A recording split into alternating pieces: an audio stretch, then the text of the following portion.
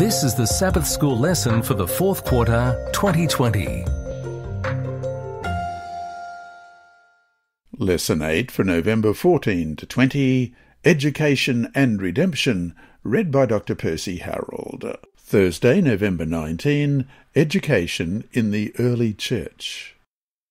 One of the remarkable principles of education in Scripture emerges as Jesus, the master teacher, prepares to leave his students or disciples. They had been with him for three and a half years, approximately the amount of time we allocate to a high school or college education. At the completion of either period, depending upon the person, students are often considered ready to manage on their own. But Jesus knew better, and so he provided his followers with ongoing or continuing education under the tutelage of the Holy Spirit. Elsewhere, that teacher or guide is identified as comforter or advocate, in Greek parakletos who will be given to the followers of Jesus permanently, as we read in John 14, verses 16 and 17. And I will pray the Father, and he will give you another helper, that he may abide with you forever. The Spirit of truth, whom the world cannot receive, because it neither sees him nor knows him. But you know him, for he dwells with you and will be in you.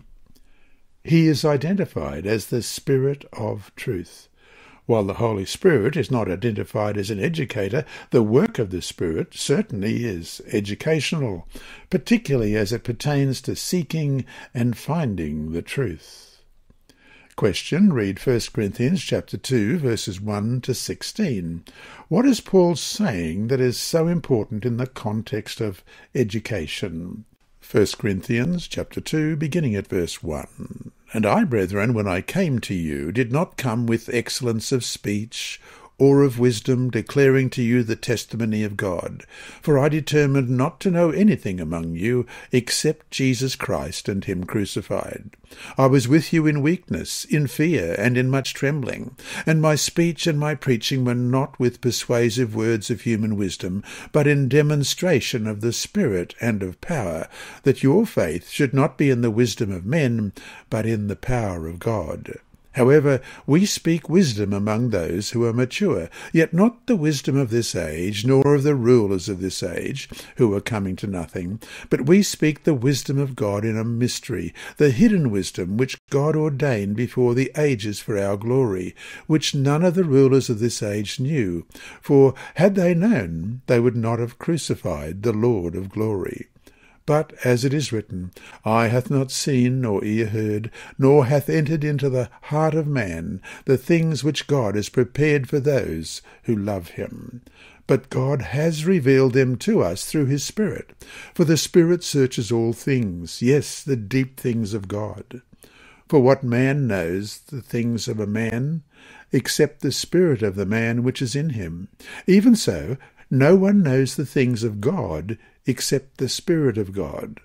Now we have received not the Spirit of the world, but the Spirit who is from God, that we might know the things that have been freely given to us by God. These things we also speak, not in words which man's wisdom teaches, but which the Holy Spirit teaches, comparing spiritual things with spiritual.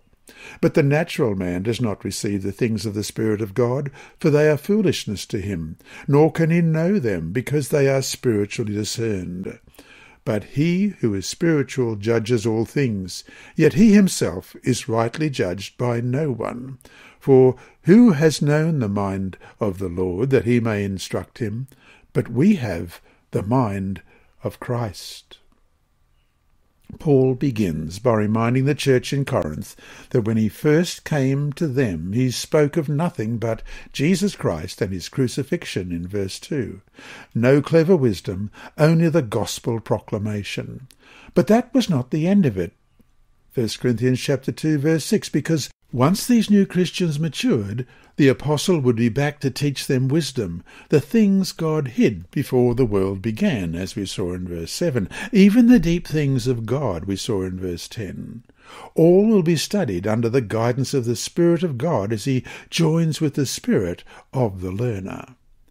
How deep will that study be, and how much learning will be open to those who are led by the Spirit? The chapter concludes with a quotation from the prophet Isaiah, Isaiah 40 verse 13. Who has directed the Spirit of the Lord, or as his counselor has taught him? The prophet speaking to ordinary people of his day would say that no one can do that. But Paul corrected that perception by concluding, We have the mind of Christ meaning that spirit-filled Christians have access even to the mind of God, and thus to any amount of learning and understanding, as we read in 1 Corinthians 2, 10 to 13, that would be needed to know the path of righteousness.